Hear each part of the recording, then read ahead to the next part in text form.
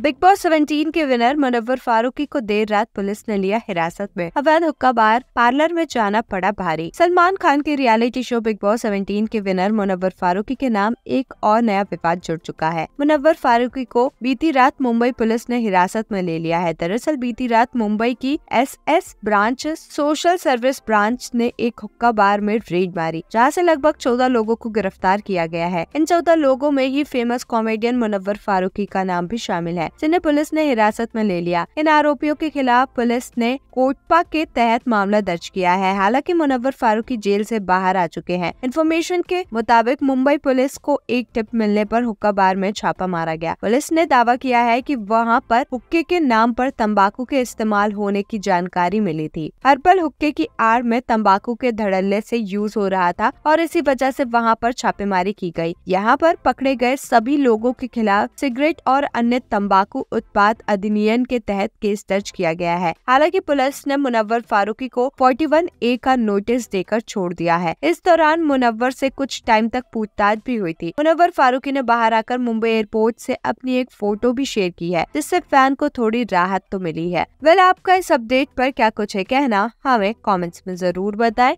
ऐसे ही अपडेट्स के लिए हमारे चैनल को सब्सक्राइब करें।